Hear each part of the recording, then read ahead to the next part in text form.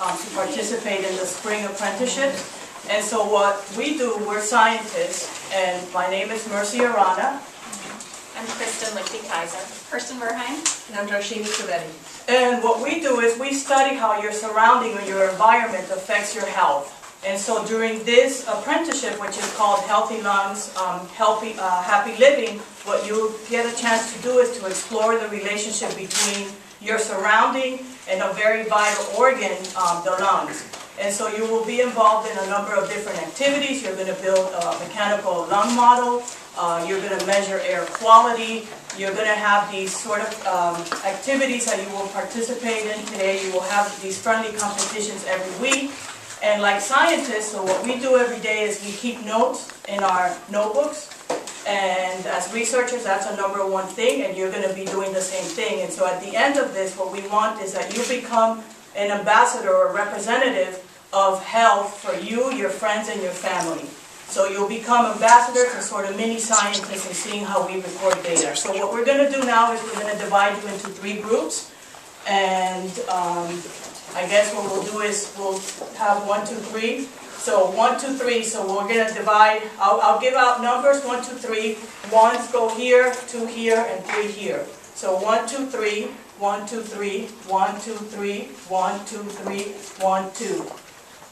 So does that cover? Oh, and uh, before we, before we, I, so yeah, we're gonna break you into the, the groups, but before that, um, we should do a demonstration to show you what you're gonna be doing. So you want them to come around. Uh, So we brought something to measure your lung capacity, which is how much air you can hold in your lungs. And uh, we're just going to show you how to do it once, and you'll each get the opportunity when you rotate through the stations. All right. So what you'll do is you'll take a deep breath, and you'll put the straw into the tube, as much air in as you can possibly get, and then you're gonna blow it all out until there's no air left. And we're gonna keep your name and what volume you display something or see. And so what you can't see, but what you'll see when you get to these stations is inside that there's a container and there's markings on the side that will tell how many cups of air that you can hold in your lungs. And so we'll record that and see who can hold the most at the end of this.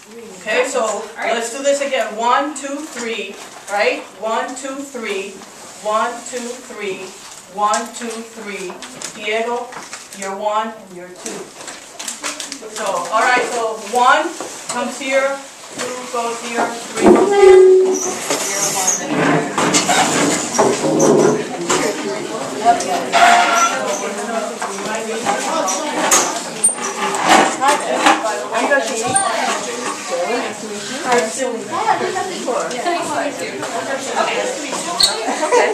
So what, what this station is, is basically a virtual model of the lung, what the lung looks like. As you can see, these are the two lobes of the lung, and, and this, it basically tells you how it goes orientation.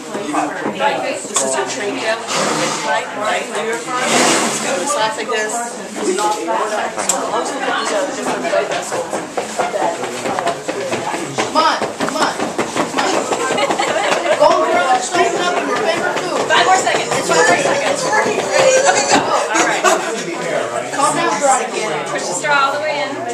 one. Deep breath. Load on that one, stress. Deep breath. Keep going. Keep going. Good job. Good job. So you're going to exhale on the line here. And Anything keep going. Pause. You can go. Who's going next? Woo! Okay. What's your name?